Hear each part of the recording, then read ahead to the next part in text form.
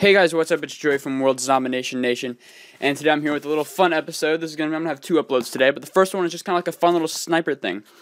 I'm gonna have only one fire chief and just a ton of snipers. I'm just well, I had three, but they're pretty far back and they're not gonna do much.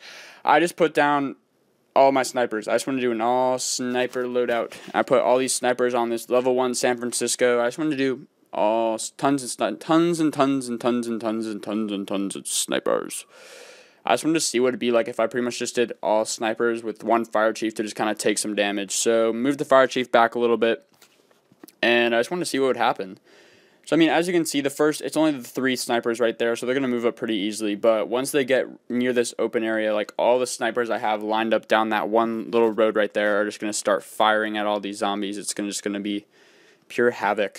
As you can see, they're just pretty much just going to town right now. They're just going to work, attacking, trying to take them over, but these snipers are just too much to handle. They just can't handle the pure strength.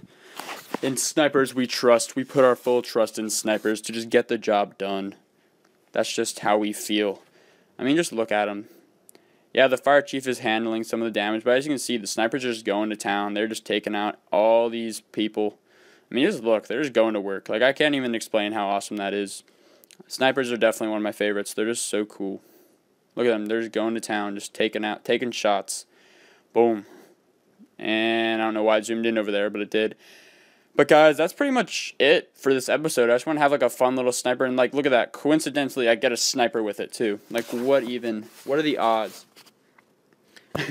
but I hope you enjoyed this episode, guys. Thanks so much for watching. I hope you enjoyed the single sniper solo troop video.